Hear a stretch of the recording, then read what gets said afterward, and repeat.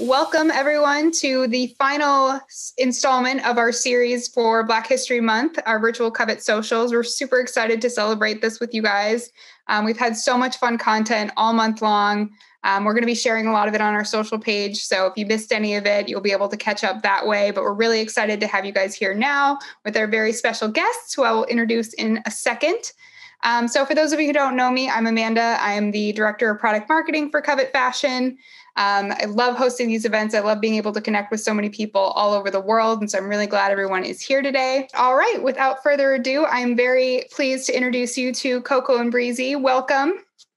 Hi, how are you all? We're so excited to be here. We are so excited to have you. So, yeah, we'd love to just get a quick introduction of who you are and kind of how you started your brand. Okay, well, first, before I say anything, everyone, we're on a road trip, so please don't mind my phone bouncing up and down. but um, I'm Breezy. This is Coco. We're co founders of Coco and Breezy Eyewear. We're DJs and producers, and we're also co founders of The Lorca. And just a little backstory of how we started um, Coco and Breezy Eyewear was we grew up in Minnesota. We grew up in a place that, you know, wasn't very diverse, and we've always been individualists. And so Coco and I really always had like a thing for fashion, and we knew we wanted to be entrepreneurs since we were in third grade. And so, you know, growing up, we really didn't have a lot, so we were really good at just creating our own resources and figuring it out. And what really inspired us to get into eyewear was actually we got bullied in middle school and high school, and that's how we actually found our love for glasses. It was like a level of protection to avoid eye contact with people. And then fast forward, we actually um, we started. You know, we took an idea. We were very crafty young ladies, and we bought some safety goggles, glued some studs and spikes on them, and we made our glasses.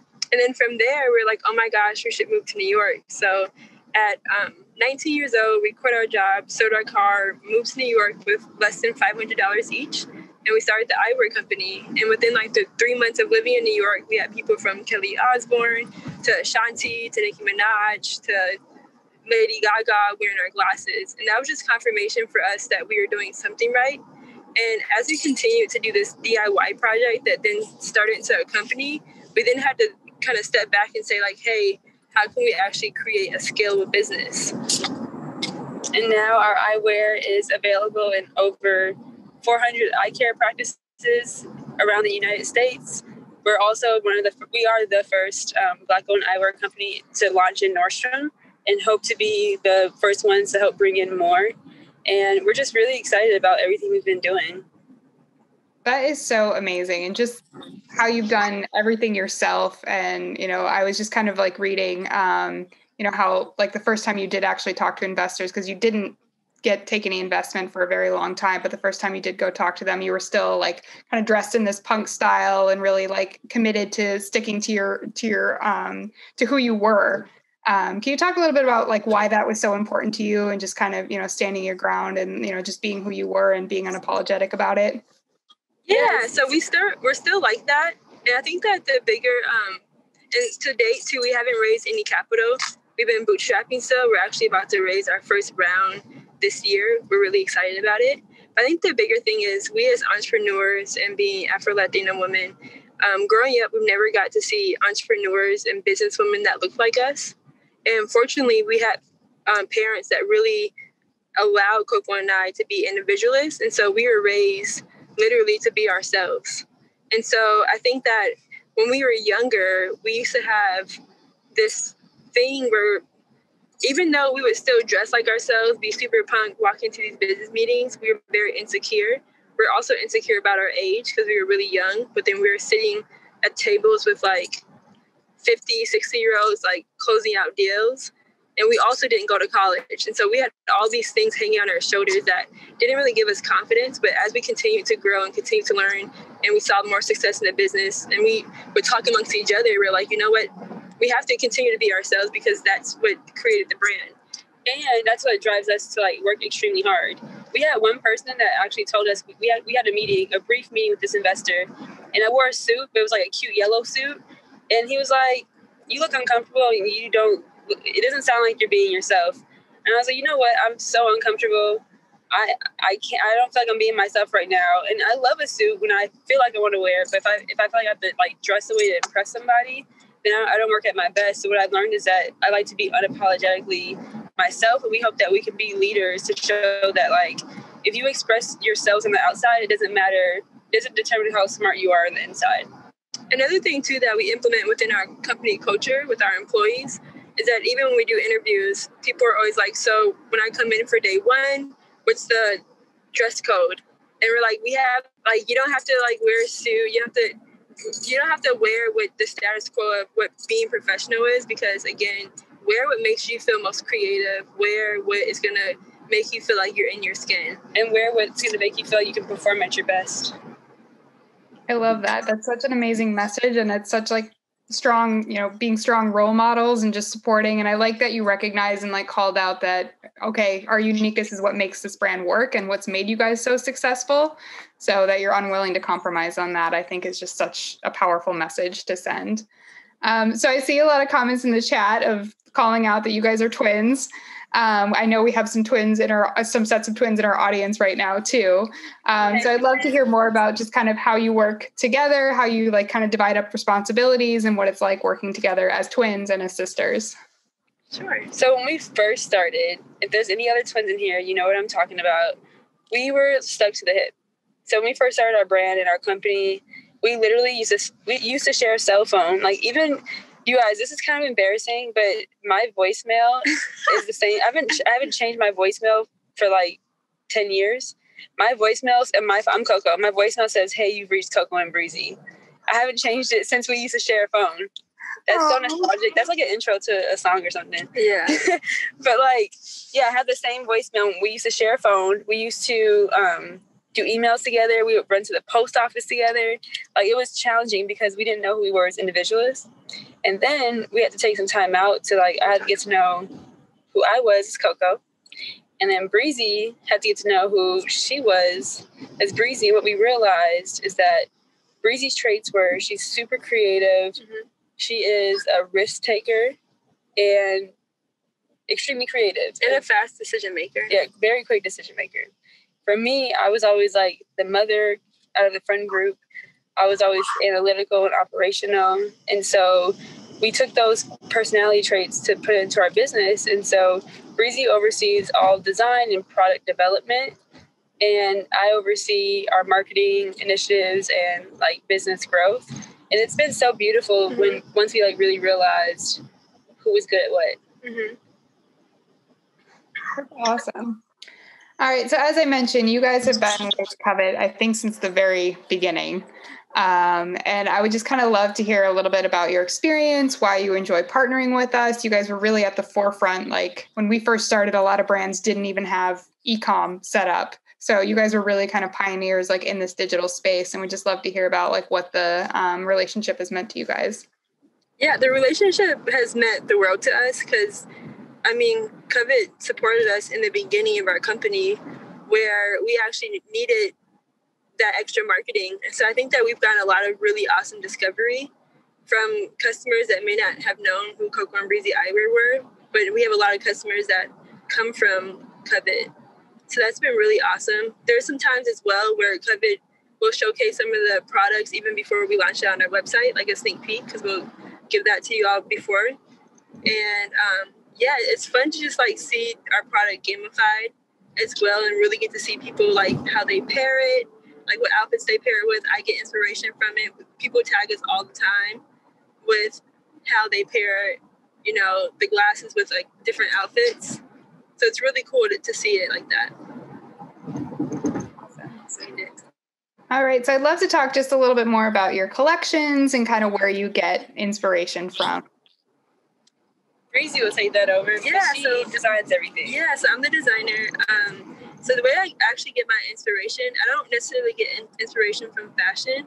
I get a lot of inspiration from um, from different art, from different experiences, and also just from like buildings, architecture, um, lamps. Lamps. I, I did a collection that like I really love the shape of the base of certain lamps, and I took little elements of that and included them like on the, the arms of the, the glasses And so I, I put my inspiration from anything and everything, but it's mostly a feeling as well. I kind of just allow my hand to just flow with however, whatever emotion I'm feeling. And sometimes I get creative block. I get that quite often. And as we scale our company, um, there's more deadlines. And so one of my biggest challenges as a designer is to continue to stay inspired. I can't like now that there's deadlines and we're, we're producing, you know, thousands of classes, I have to actually like I can't just wake up and be like, oh, I feel like designing. I have to actually do it by a certain day. Awesome. So you guys just released a collaboration with Zenni. Um, would you want to talk about that a little bit and kind of how that came to be? Yes. So um, if you guys don't know, Zenni is an online optical retailer. They sell affordable glasses. All their glasses are under about thirty or forty dollars, and they were on our list of brands that we wanted to collaborate with. The way we came about that collaboration is we knew that we wanted to do kids because Breezy and I we're actually on a kids TV show. It's called Wonderama, and we were always um, we've always done things in the kids market. We're on the kids TV show. We, we've directed about like ten music videos that were for Disney, which were in the kids market. We worked with a, a girl band that we were doing all the creative direction and music videos, and they were kids. So we were like, you know what, we need to tap into the kids market for eyewear. But if we tap into the kids market, it has to be affordable because when we were younger, we always wanted to dress stylish, but our parents couldn't afford expensive glasses. So we teamed up with Zenni and we created a beautiful collection. And while we were in that process, um, you know, we had a lot of challenges. We were working on this collaboration for about a year, and then the pandemic hit. And so for us, we we're all about like our our brand. We, we always want to have integrity, and so we go with what the world tells us to do. And so even though we had this huge campaign planned out, um, the messaging was already done, and then once we found out that kids weren't going to be going back to school, and you know we had the civil rights era that was happening in the movement, we changed up our messaging, we changed up the campaign, and we were like, we have to. This is more than just the glasses. We have to create this collection to really help these kids. And so we actually named every frame after an affirmation. So there's glasses that are called the I am fearless, I am happy, I am brave. Yeah, and so now when the kids put their glasses on, they can recite it and say, I am happy, I'm fearless, I am brave. And something too that we're really excited about is that we um, partnered with Child Mind Institute for the Healthy Brain Network. Um, a portion of the profits they go to they go to help um, mental health resources for the Black community because you know in our growing up being Black women in our community, a lot of people don't really talk much about mental health. It's not a, to help give better access to our community for mental health resources. And so, yeah, the collaboration is gorgeous and it's, it's doing really well. But this piece and this collaboration is like so special to our heart because it's bigger than just the glasses. It's getting the message out there and being there for the kids. Such an amazing collaboration and such an amazing message and program that you guys are supporting. Um, what is kind of your role within the Child Mind Institute? Do you, you know, is there other like mentorship opportunities that you offer or other things that you do to work with children? Yeah, so um, even with outside the Child Mind Institute, just Coco and I in general, we've been mentoring kids and even youth for years. I I can get it back us being 18 years old, going to high school, mentoring people our age. We graduated high school early. And even, um, you know, we didn't go to college, but we were 20 years old going to Princeton teaching entrepreneur classes. And um, a couple other Ivy League schools that we had the privilege to to go and like teach some entrepreneur classes and, and mentor some of those students. Um, something that we're very passionate about now is that we also mentor a couple black owned eyewear companies because when we first started our company, we had a couple mentors, but no one really wanted to teach us how to actually design and produce eyewear. And for us, we believe that I think a lot of times people get intimidated when they're in a space where there's not a lot of you, but you can't do it by yourself. And so our goal is to continue to, you know, share the knowledge that we know and our expertise with other people, especially black owned eyewear companies who didn't have the resources that we didn't have. And now we have the resources, we have the abundance to, to share it. It's amazing. And you guys have more than just the eyewear brand. Do you want to talk about just some of your other entrepreneurial ventures. Um, yeah. Yeah, sure. So we um we're, we're DJs and we've been DJing for almost like seven years now. I think so. I think almost seven years. And oh my gosh, I cannot wait until we can actually DJ in front of people. But until then, it's been virtual DJ sets. And we actually just released um, two new songs. Well, one song we released in June of 2020, and then we released another song in March of was it March 2020? No, it wasn't March. It was like four months ago. I forgot, I'm, I'm, I'm losing track of time. But yeah. anyway, we launched another song about four months ago, and um, yeah, we, we love it. I um, we have other cool ventures too. We have a yeah. we um, we're co-founders of the Lorca, which is a real estate property upstate New York. Um, it is in a really beautiful area. There's four houses, five, oh, five houses. Sorry, we have five houses, and um, they're really cool, really minimal, um, super Instagrammable, Instagrammable, very cozy. Like you feel like you want to meditate, but you also want to like get your picture on as well. And, short-term rentals, and I think the cool part about you know we give people our eyewear, which is your vision. Music just heals your soul, and then going up to nature and staying in a cabin, like for your wellness. And so for us, we we kind of like see it as it's all the Coco and Breezy brand, but it's different mediums that come. They all come from our heart, and it gives everybody that same feeling and brings people together. We're actually um, extending the Lorca. It's a secret, but I'll tell you all since we're not like on Instagram. But we're possibly extending to getting a motel. Oh wow! Yeah. How do you fit all of this in? How do you do all of this? And you're on a TV show. Like, how do you find time for all of it? Um, so we actually have multiple teams. Thank you, Christina. Um, thank you, Christina. So we have multiple teams. I think that's one thing that when we first started our company and DJ and everything, we did everything by ourselves, which I'm grateful for because we were able to understand the business of each aspect of things. But as we continue to grow, we have a, a team and, and employees for our eyewear company and then for our music, we have um, management, and also for our like brand partnerships, we have agents.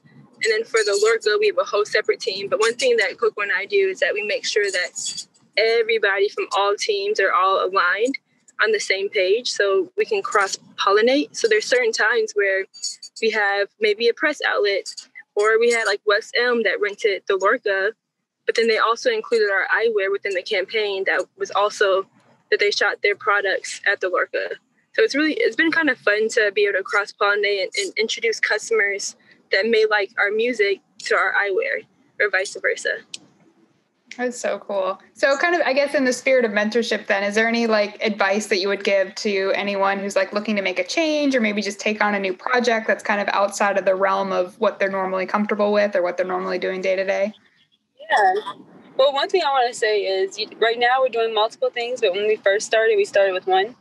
And I think that that's that's one piece of advice I would give is that in your beginning stages, when one thing is not fully stable, it can be challenging to try to do like three or four things at once because that means you're only giving 20% here, 30% there, and a small percentage there.